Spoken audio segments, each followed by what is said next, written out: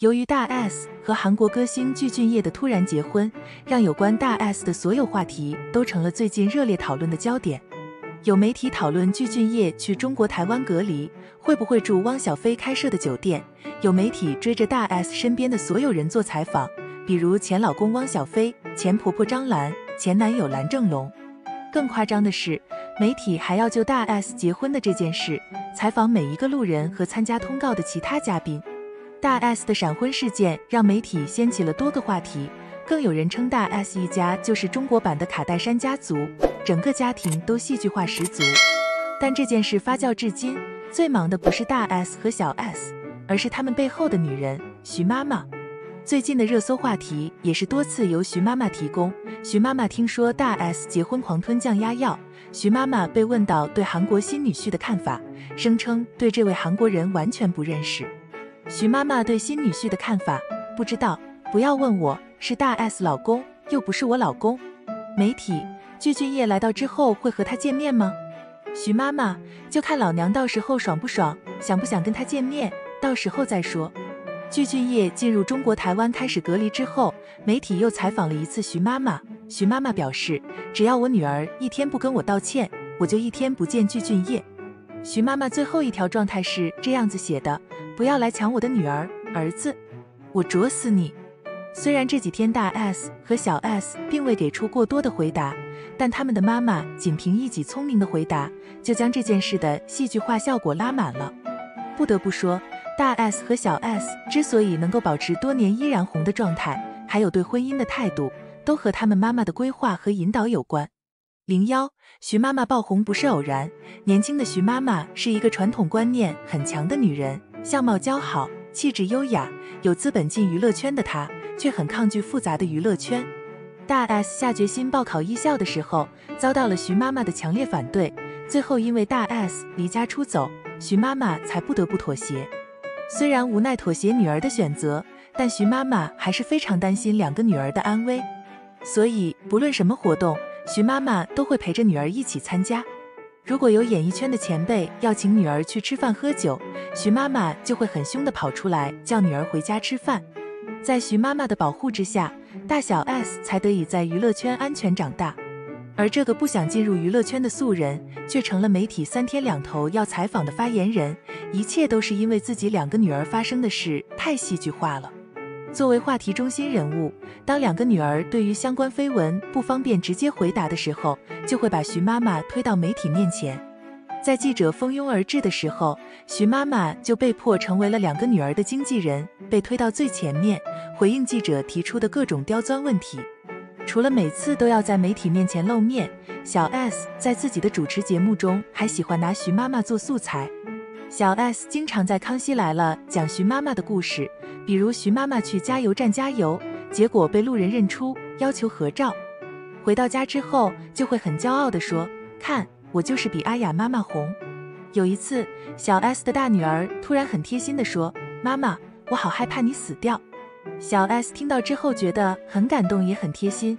转眼看到徐妈妈坐在一旁，马上教育女儿：“你怎么会讲这样的话？要死也是你外婆先死啊！”结果徐妈妈回了一句：“这很难说。”戏剧化的故事加上小 S 夸张的模仿表演，让没有出道的徐妈妈呈现了一个非常立体的形象，既享受出名、爱护女儿，还会回腔，笑料百出，十分可爱。而徐妈妈对于媒体拿自己做素材并不介意，只是在镜头给自己特写的时候，会非常害羞的把脸遮住。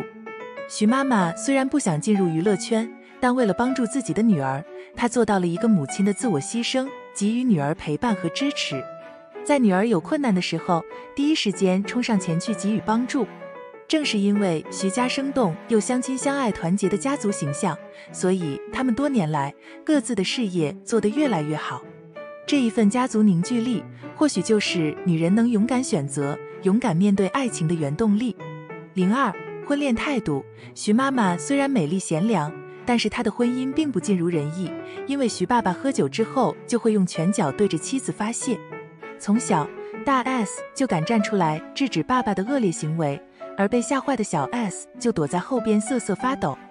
因为徐妈妈没有生出儿子，所以她对自己遭受不公正的待遇也是默不作声。在后来发现徐爸爸出轨的时候，也只是沉默地带着小孩分居，做无声的抗议。这种没有勇气抗争的行为，在大 S 看来是非常不能理解的。从小到大，他都认为只要是自己的决定就要去做，绝不要负妈妈的后尘。因此，在结婚的事情上，他从来没和妈妈商量过。而小 S 因为天生胆小、懦弱的她，默默地学习妈妈在婚姻中做的事情，乖巧听话。相同的经历，但因为不同的性格，所以之后他们对待婚恋的态度也截然不同。徐妈妈虽然保守，但她的痛苦经历也教会了她，婚姻是人生阶段的必要经历。